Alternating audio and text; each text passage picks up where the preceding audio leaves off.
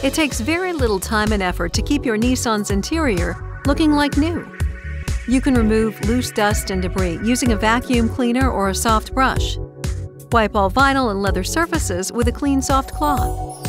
Dampen it with water and a mild soap solution if necessary. Then rinse and wipe again with a dry cloth.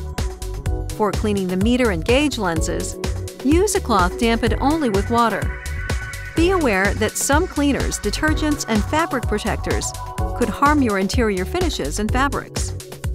See your owner's manual for full details on what and what not to use. To wash your new Nissan, remove dirt with a wet sponge and plenty of water.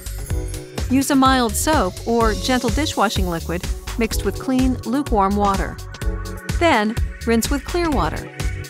Clean the inner edges of doors, flanges, and hood to remove dirt and debris. It is recommended that you wax and polish your vehicle using only the types of products suggested by your Nissan service department. For spot removal, wipe away tar, oil, dirt, insects, tree sap, and other abrasive matter as soon as possible.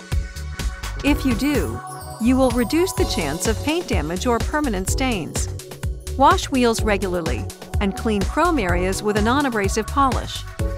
For more complete information on maintaining your Nissan's beauty inside and out, see the Appearance and Care section of your owner's manual.